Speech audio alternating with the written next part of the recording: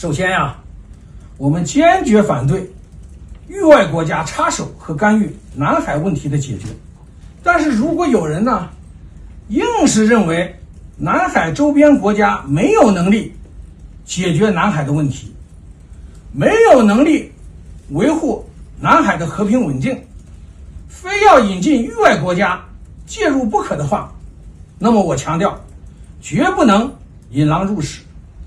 绝不能允许啊那些不怀好意、从中牟利、唯恐南海不乱的域外国家介入和插手南海问题。